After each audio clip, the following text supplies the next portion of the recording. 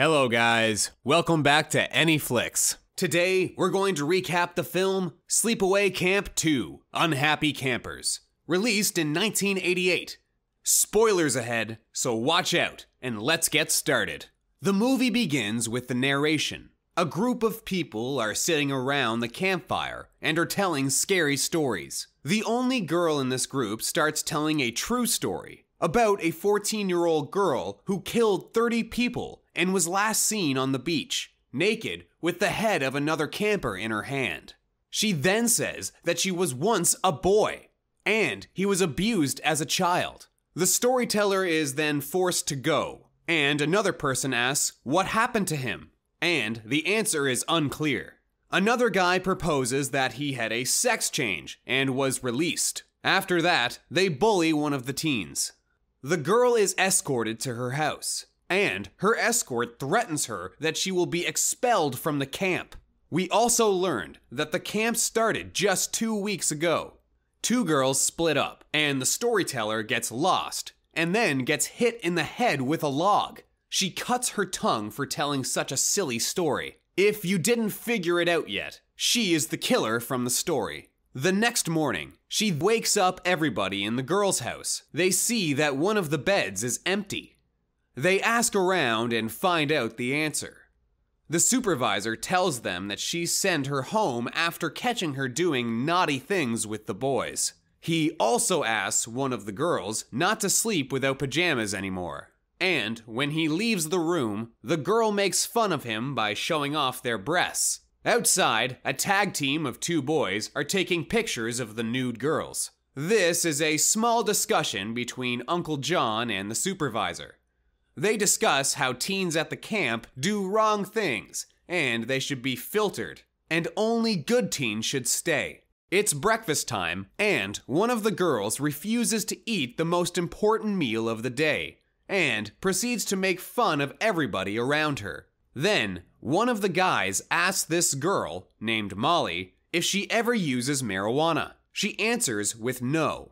After that, the conversation changes to the girl expelled yesterday, and they all express their distaste for the supervisor, or as we know her, the killer. Uncle John arrives at the dinner and asks Angela to start the day with a song. She's been named the best supervisor of the week. Angela asks Molly and the other girl who makes fun of her, Allie, to help her with the song.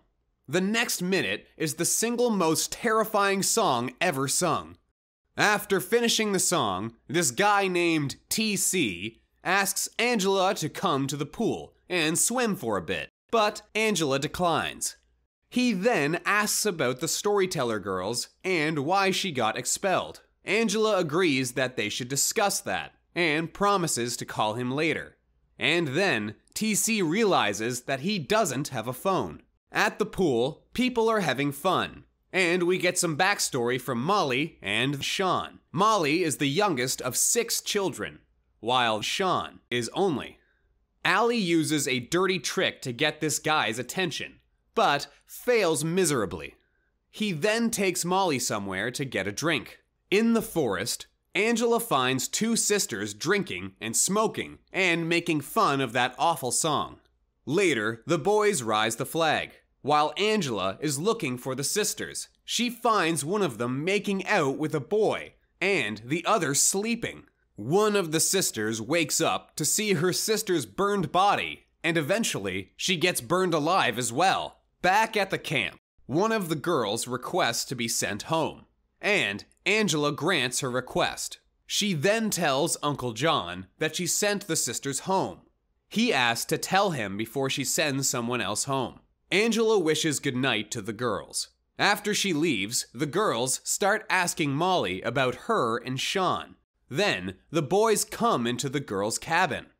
They start messing around when Angela comes back. The girls are forced to clean up their room, and they devise a plan to get revenge on the boys. Unlike Angela, TC doesn't care what happens in the boys' cabin, so the girls take revenge. Unfortunately, Angela arrives to ruin the fun.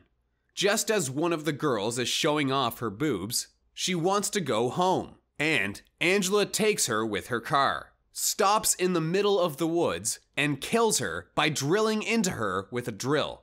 The next morning, we are back at the camp when Uncle John gives the word to TC. He announces a list of missing things. Angela is humming something when Molly arrives and offers her some company. They discuss how Molly likes Sean and is insecure because Allie likes him too. We learn that Angela is still a virgin, so she confronts Molly. Back at the camp, we have some fun activities. Then, Angela arrives at the boys' cabin when the boys are checking out the pictures they took of the nude girls. There was Angela's picture there too. TC disagrees with Angela and doesn't send them home. And he warns Angela that the boys will try to scare them. The girls are out camping and sitting around the fire. The boys are getting ready to go and scare them, and one of them gets killed with his own shovel. The other gets killed with an electric saw. Back at the campfire, the girls continue having fun. Angela arrives in her scary costume, and the girls can't believe she would do something like that. She asks where Allie is. We cut to Allie getting drilled in the toilet. Angela arrives at the scene. She hides the boy and goes out to meet Angela. The next day, TC is looking for the boys killed by Angela yesterday. Allie asks Molly not to be nice to her anymore. Molly gets sad, and Angela confronts her back at the cabin. Angela suggests that she should go to the pool and relax. Molly declines because she thinks Allie will be there too. But Angela theorizes that she is probably somewhere having a pleasure time. It turns out Angela was right.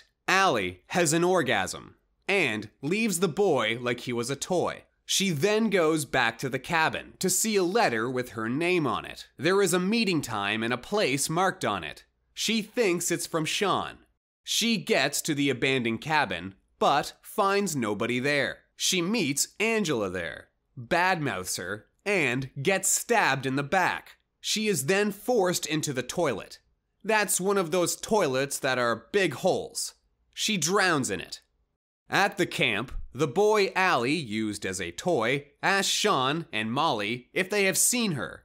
They say no and then find out that he had drilling sessions with her. The boy brings up how those two boys disappear just like Allie. But Sean dismisses his ideas. Sean tells him that he almost went to the camp where everybody got killed. The killer was going there as an angel of death.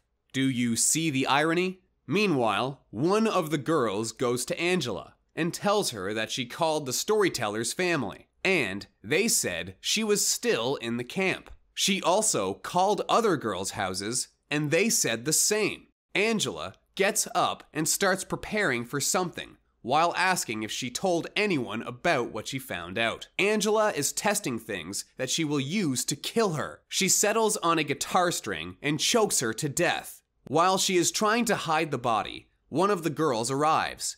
She unlocks the door, gets into Angela's room, and gets stabbed to death.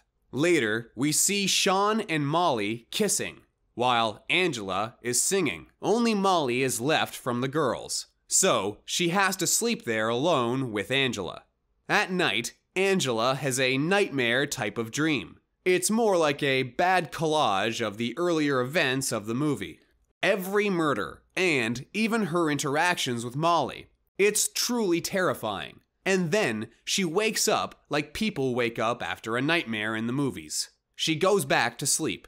The next day, Angela gets fired by Uncle John for sending all of those teens home. She goes back to the cabin and tells Molly what happened to her. Molly goes to the boys' cabin and asks for Sean to come out. She tells him that Angela got fired. She asks Sean to help her and talk to Angela. They get to the abandoned cabin. Angela is frustrated and tells Molly that TC hates her. And she reminds her of that boy from her childhood and she tells Molly that she fixed him. And when Molly asks her how she fixed him, Angela answers with, I drowned her. While that's going on, Sean gets into the cabin and sees all the dead teens. He gets attacked by Angela. Meanwhile, TC decides to go and kick Angela's ass. Back in the abandoned cabin, Sean and Molly are tied up. TC arrives looking for them. He gets into the cabin and gets his face burned by Angela. That's when Sean realizes that Angela is the same guy who killed kids in that other camp. She got this job after getting all the recommendations from psychiatrists and clergymen. Sean laughs at Angela and gets his head cut off. There are all those dead bodies around Molly. She tries to confront Molly, but fails miserably. Angela then leaves the cabin. Molly tries to escape, but she can't at first. After some struggle, she manages to get her hands free. She attacks Angela when she comes back and runs out in the forest. Angela quickly regains consciousness and chases Molly through the woods. She catches up to her, and after some struggle, Molly manages to run away once again. Some running later, Angela catches up to Molly once again. During his struggle, Molly falls from a small cliff and bashes her head on a rock. Later, the other supervisor arrives at the girls' cabin to check on Molly, but finds two boys looking through the window. After checking them, Diane finds out that they are dead. She runs into Uncle John's office and finds him dead with another boy, and she gets killed by Angela. That's when we see that Molly is alive. Angela is leaving the camp with the help of a lady that was passing through the camp. She gets killed by Angela as well. Molly gets to a nearby road to find a car. She tries to ask the driver for help, and guess who's sitting there? That's right, the Angela of Death. We hope you enjoyed our today's video. If you liked this video, smash that like button and subscribe to our channel to stay up to date with the latest and interesting videos.